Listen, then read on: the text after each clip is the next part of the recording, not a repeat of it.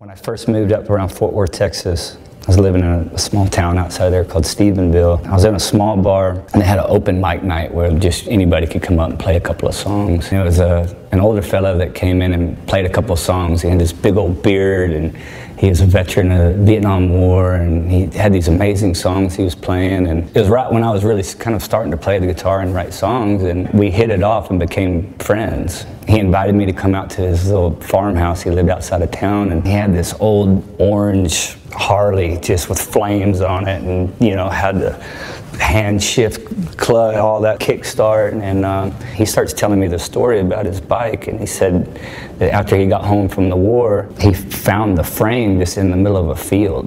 You know, just weeds were growing up through it. And he went and rebuilt it with all kinds of parts that he had found. And I just begged him and begged him to ride it, you know. And he's like, no, I'd never ridden a bike, you know, at this point. I was probably about 18 years old. Mainly the only kind of horsepower I'd been on had a saddle and four legs, you know. So he finally told me, he said, well, if you can get it started, I'll let you ride it.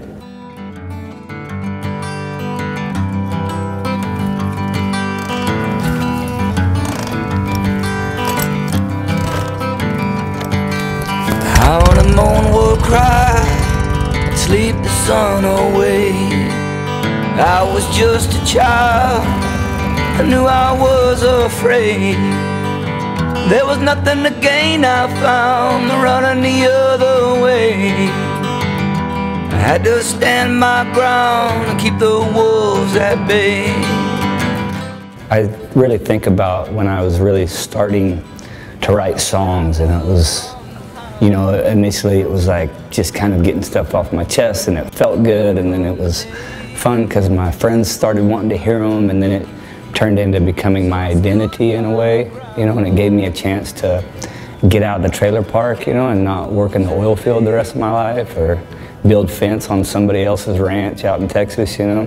what do you have to say, really? You know, anybody can sing a song about drinking beer on their tailgate in the parking lot or whatever, but you know, do you have something that's meaningful and that can help somebody? If you can sit in a room with people from all over the place that may be so divided on all these different things, but you can kind of come together on, on something, then uh, to me it makes it all worth it.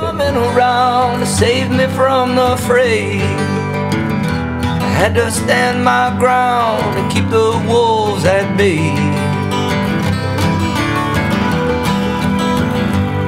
Well, I knew somehow there would come a day when I stood my ground,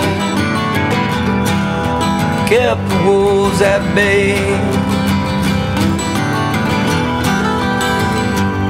Well, I knew somehow there would come a day. So I stood my ground, kept the wolves at bay. Drew me into playing music and the guitar as well as that kind of sense of getting out on the road and seeing the world, you know.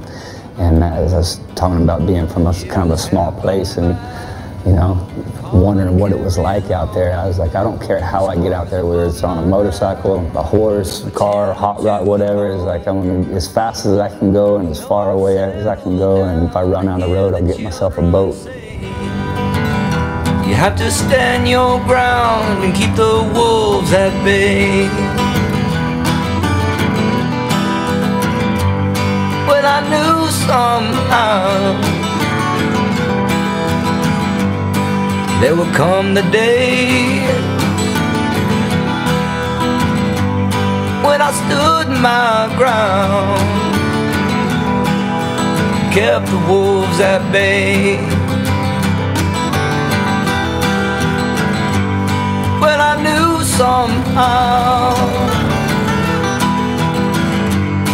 there will come the day.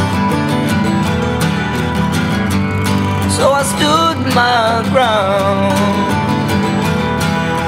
Kept the wolves at bay